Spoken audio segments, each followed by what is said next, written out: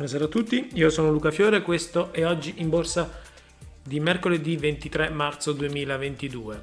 Chiusura in rosso per le borse europee, segno meno anche a Wall Street dove il Nasdaq segna meno 0,23%, l'S&P 500 quota in calo dello 0,62%, ma vendite più consistenti in Europa dove l'Eurostock 50 ha chiuso in calo dell'1,44% e il nostro FTSE MIB ha perso quasi un punto percentuale fermandosi a 24.298,66 punti. Come è normale che sia, la direzionalità dei mercati è data dalle indicazioni in arrivo dalla, dalla Russia, mentre i paesi occidentali si preparano ad approvare nuove, nuove sanzioni. Dalla Russia hanno fatto sapere che non saranno più accettati pagamenti in dollari ed euro per il gas consegnato in Europa, si potrà pagare solo in rubli. Questa è una mossa appunto come che viene utilizzata per evitare la svalutazione eccessiva della, della moneta.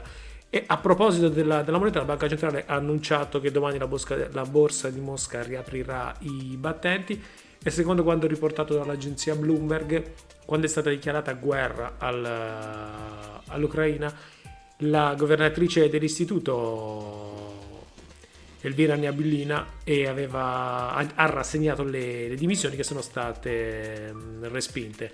A Piazza Affari la performance migliore è stata registrata dal titolo Saipem che ha chiuso in rialzo del 7,2% dopo le indiscrezioni secondo cui eh, Eni che ha fatto un più 0,9%.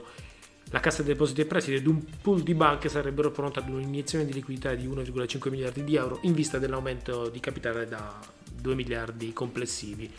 Bene anche Tenaris più 2,78% e Eni come detto più 0,9%.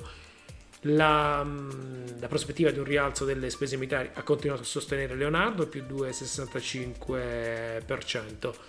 I, dietro la lavagna invece troviamo le utilities con il meno 3,58% di ERA ed il meno 2,73% di Italgas, male anche le banche, meno 2,96% per Unicredit e meno 2,48% di Intesa San Paolo.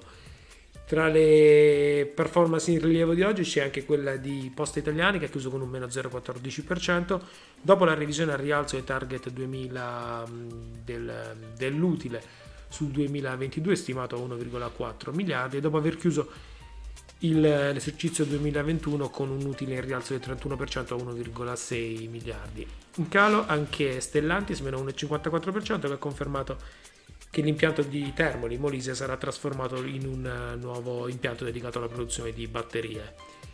E sul completo segnaliamo il, il rialzo 9, del 9,41% di fila e il più 8,6% di Ratti, meta tra le performance peggiori, meno 8,12% di Bialetti e meno 4,91% di Newlat. Per quanto riguarda il comparto obbligazionario, lo spread BTP Bund è salito di un punto e mezzo percentuale a 155 punti base. Nel giorno in cui il Ministero dell'Economia ha collocato via sindacato la prima trans del nuovo CCT ancorato all'inflazione europea con scadenza il 15 ottobre 2030 le richieste sono state particolarmente abbondanti e il titolo è stato, è stato collocato ad un rendimento pari a 78 punti base sull'Euribor a 6 mesi, a 6 mesi. Inizialmente era stato collocato a 80 punti base, quindi insomma la situazione è andata lentamente migliorando.